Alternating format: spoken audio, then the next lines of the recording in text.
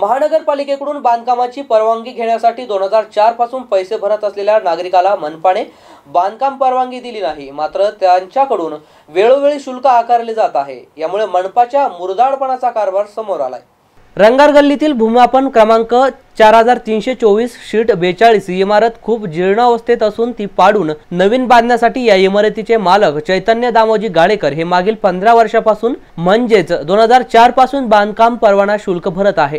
महानगरपालिका यांच्याकडून हे शुल्क वसूल करत आहे पण त्यांनी आतापर्यंत ही इमारत पाडून बांधकाम करण्याची परवानगी देत नाही. यामुळे जर इमारत पडली तर खूप मोठी जीवितहानी होऊ शकते कारण इमारत जीर्ण अवस्थेत असल्यामुळे भिंतीचा चिरा पडलेल्या आहेत.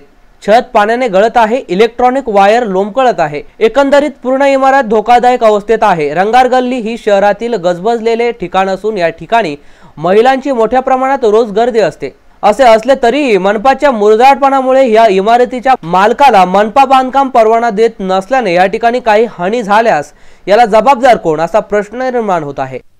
समस्या म्हणजे आम्ही आता अठरा वर्षापासून दोन हजार एक साली आम्ही ही जागा घेतलेली आहे.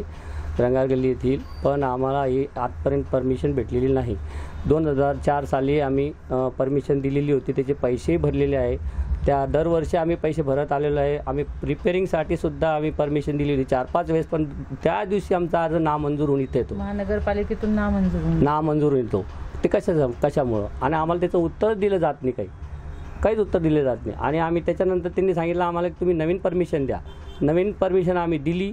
पण नवीन परमिशनलाही आम्हाला ते सांगतात की ए, बा याचा प्रॉब्लेम त्याचा प्रॉब्लेम आम्हाला काहीतरी सुट करतात. त्याचे आम्हाला नोटीस येऊन जाते त्याचाही काही उल्लेख होत नाही. महानगरपालिकेने याच्यात दखल घ्यावी आणि त्यांनी आम्हाला ताबडतोब परमिशन कर द्यावे सहकार्य करावे हीच आम्ही आम्हाला त्यांची विनंती आहे.